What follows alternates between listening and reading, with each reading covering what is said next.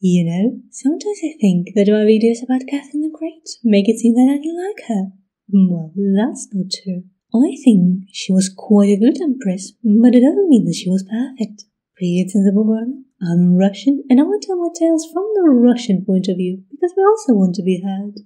And recently, I've noticed one very interesting thing, and that is, no matter Russian or foreign show, Catherine the Great is always depicted as a good mother. But as sad as it is, unfortunately, she wasn't. Many believe that the reason why Catherine the Great never really developed feelings towards her son is because the baby boy was taken away right after his birth. At that time, back in 1754, Catherine was only the wife of future emperor, and all the power was in the hands of Empress Yelizaveta Petrovna. She never had children.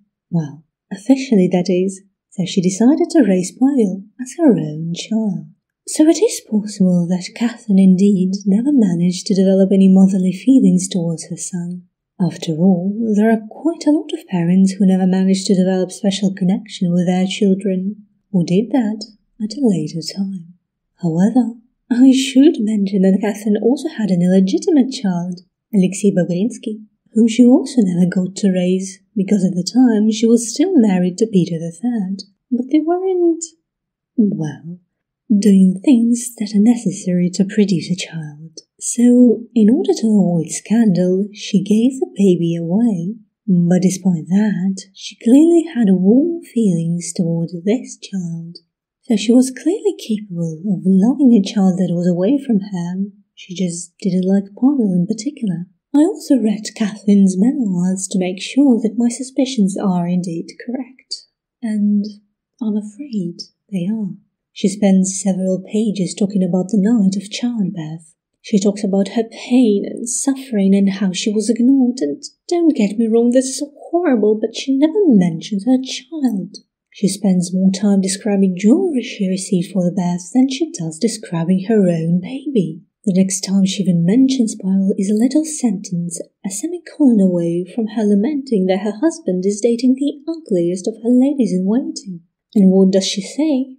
Well, right after talking about her son's christening, she casually mentions that he almost died from candidiasis. And that's it.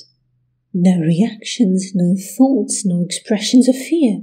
I mean, I get that at the time she couldn't ask about his health because that would mean she's doubting Empress's ability to take care of the baby. But Catherine's writing her memoir when Elizaveta Petrovna is already dead. Nobody's going to snitch. Why not write about her feelings?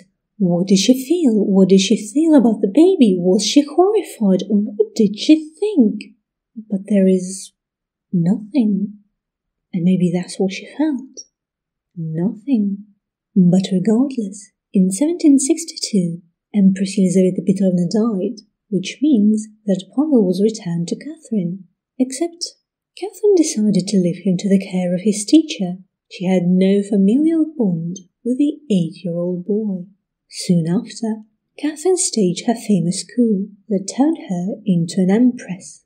As you might imagine, no one was willing to see a German princess with no relationship to the Romanov family as the sole ruler of the Russian Empire. So she comes to power with a promise. She'll rule until her young son becomes of age, and then she'll transfer the crown to him. The situation only sours the relationship between the two. No one wants to give up their power, and definitely not as great as was now in the hands of Catherine. It is at that point when Pavel stopped being her son and became her rival. And in that war, she didn't hesitate to damage her own image to hurt her son. For example, not only did she support the rumors that Pavel wasn't Peter's son, but she actively participated. In fact, she even stated that in her memoirs, knowing full well that he will definitely see them after her death. She needed those rumors to make see Pavel as a less legitimate heir to the throne, especially now that many people started to think that there is quite a lot of similarities between Peter III and the little prince. But the psychological warfare wasn't the only weapon in Catherine's game. When Pavel was 17, he fell gravely ill So much so that for once Catherine abandoned her governmental duties and stayed by his side. But when Pavel got better, another trouble aroused. Catherine became worried that Pavel was no longer capable of producing an heir, so she decided to have an experiment. She found, as they called her, an agreeable widow who later found out was Sofia Ushakova, and gave her a task and I don't believe I'm saying this, but to seduce a 17 year old Pavel and get pregnant to make sure that Pavel, in fact, can produce an heir. And just in case you think that it wasn't as bad because she was 25 and Pavel was a boy, and it's clearly not as bad when it happens to a boy, sarcasm, then remember that one, if it were to happen today, Sofia would be charged with statutory R word, and two, Pavel was a completely sheltered kid. Only a select few people were able to see Pavel, so clearly he didn't have a lot of romantic experience, not to mention a more physical one. So I don't think that having your first girlfriend be someone who's clearly tasked to be impregnated by you is very healthy for one's mental state. Not to mention that we don't know how Sofia Ushakova reacted to the situation herself. Because no matter how liberated are you, you clearly don't have a say when an empress orders you to do something. So it's quite possible that this experience was quite traumatic for her as well. Oh, and they did in fact have a child together which Catherine took away to raise herself, because that worked wonders for her. But what was important for Catherine is that Pavel was proven to be able to produce an heir, which means he was married off quite soon after. But before we talk about that, I want to mention one little thing. So, back in those days, there wasn't really an age when you become of age. And one of the ways your legal status was determined was whether or not you were married. And now that Pavel was in fact married, he was of age to become a ruler. And so, a week after he got married, Catherine made Pavel give up and that seems to be mentioned only in Russian text that she made him give up the rights to Schleswig-Holstein Duchy, which he inherited from his father on his paternal side. In return, he received some territories in Germany, but soon after had to give them up as well and never received anything in return. Obviously, there was a bigger political reason for Catherine to do that, but I can't help but wonder if it's really just a coincidence that he had to give them up so soon after being able to actually rule them. Not to mention that it was the last connection he had with his father, whom he actually loved, and Catherine hated. Catherine ordering to kill Peter III was the last straw that ruined the relationship between her and Pavel. But let's go back to Pavel's first marriage, and let me tell you, it wasn't pretty. Pavel's first wife received the name Natalia Alexeyevna, and she was very ambitious, which is not bad by itself. But it is bad when your ambitions turn you into an abusive spouse. It was pretty obvious that Pavel was in love with his wife, but Natalia wasn't so much. In fact, she used her power over her husband in order to further isolate him from his already very small circle of people, and would only allow a select few to talk to him. She was also very good at gaslighting.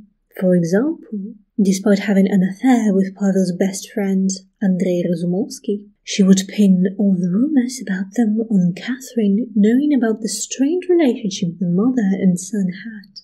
Not sure if it's appropriate to say fortunately, but Natalia died quite young during childbirth. Pavel was grieving so much that he lost the ability to speak, but Catherine had other plans. She couldn't just let Pavel grieve. She wanted to get him married once again as soon as possible. So what did she do? Well, she gave him letters that incriminated his wife and best friend. This means not only that Catherine knew about Natalia and Andrei having an affair, but she also probably knew that Natalia's baby wasn't Pavel's. But she was still willing to let this go despite having that god-awful test with impregnating other women. What kind of mother was she? And of course Pavel's heart was broken, but oh well, no time to cry. There is a wedding at the horizon. And I'm not even exaggerating, Natalia died in April and Pavel's second wedding was in September of the same year. At the very least, his second wife was a nice person. And something not so funny about the wedding. Both of Pavel's weddings were in September, specifically so that people wouldn't remember about Pavel's birthday. Remember that Catherine was supposed to rule until her son becomes of age, and she didn't actually want people to remember that he did become of age. But anyway, Pavel's second wife, now known as Maria Feodorovna, actually had a very good relationship, and they had ten children together, none of whom survived. But just because Pavel found a loving family didn't mean that Catherine stopped causing him troubles. For example, let's talk about the place where the young couple had to live. Since Catherine realized that she and her son have a vastly different political views, she decided to kick him out of St. Petersburg to make sure that he didn't intervene in her policies. So she gifted Pavel a place to stay known as Gatchina. And Gatchina used to be owned by Grigory Orlov, who wasn't just Catherine's ex-lover. no, that would be one thing but he was also one of the people who killed Pavel's father. Surely Russia is big enough to find Pavel a place that wasn't owned by his father's murderer. Why give him Gatchina of all places? At least he ended up liking the place, and I feel like it's the slogan for Pavel's life. At least he ended up liking it. But putting Pavel and his wife in the murder estate wasn't just the only thing that Catherine did. She intervened in pretty much every state of Pavel's family life. For example, Pavel and Maria were able to name only one of their children, Mikhail, who was born after the death of Catherine the Great. And he was also the only child whom she didn't take away from the parents. Most people think that Catherine only took Pavel's two oldest sons, Alexander and Constantine, but she actually took Nikolai as well. It just so happens that she died quite soon after, and so the boy was returned to his family. But as I said, the two oldest boys were raised the way Catherine wanted them to be, and it wasn't a secret that Catherine wanted Alexander to inherit the throne, not her own son. She even named her oldest grandson Alexander in honor of Alexander the Great, the famous ruler of the ancient Greece. And even though her plans didn't come true, and Pavel did indeed come to rule Russia after her death, it is believed that she was a spiritual influence behind Pavel's violent murder as she raised the two oldest boys to despise their father and see him as a worthless ruler. By the way, many modern historians believe that he wasn't as bad of a ruler as he was originally portrayed. He gave more freedom to peasants and restricted the rights of aristocracy, and only a crazy person would do that, right? And as a little cherry on top of that already rotten pie, Catherine was pissed off every time Maria Feodorovna gave birth to a baby girl. I mean, I get that she was concerned they wouldn't be able to find proper spouses for the girls, but you don't have to be hateful about it. The oldest daughter, Alexandra, had it especially bad, but that's a story for another day. As for Pavel, I really think that he didn't really have a chance to have a good relationship with his mother. Back in the 18th century, it seems that everyone knew the sad story. He was even nicknamed the Russian Hamlet. And now you know that story as well. Well, that's it for today. Thanks for listening and subscribe if you want to know more about Russia and Russian history. Thanks for listening. Пока-пока.